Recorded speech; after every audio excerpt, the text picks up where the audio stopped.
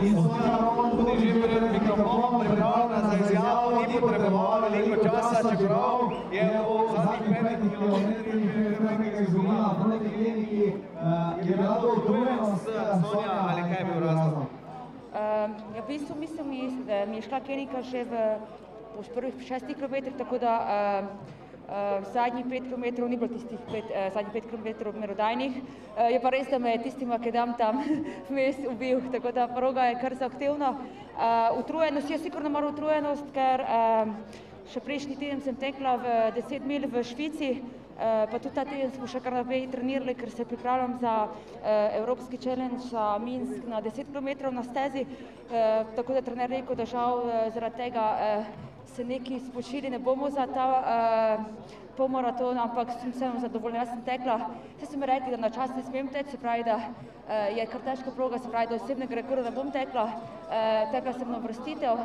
mogoče, ker sem vedela, da vmes uh, neki malo bolj razgibana proga, pa da je makedam, da sem se ustrašila, pa prehitro mogoče spustila Keniko, ampak eh, z državnim naslovom sem vsekakor zadovoljna.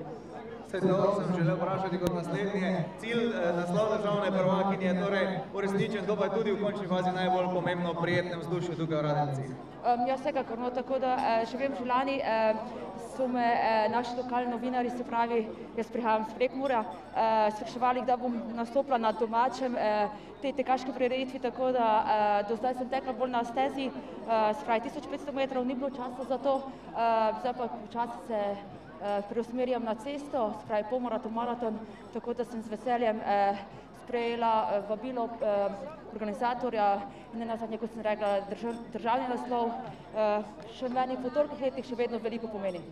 Kaj torej pomeni naslednjo leto prvič maraton v Radenci? Uh, ne, ne, ne vem, ne bom rekla, da, uh, da ja, no bomo videli. Uh, res, da sem čisto na začetku te maratonske karijere, tako da se moram zbrati za začetek, po mojem, vseeno lažje proge, ampak za prihodnost vsekakor.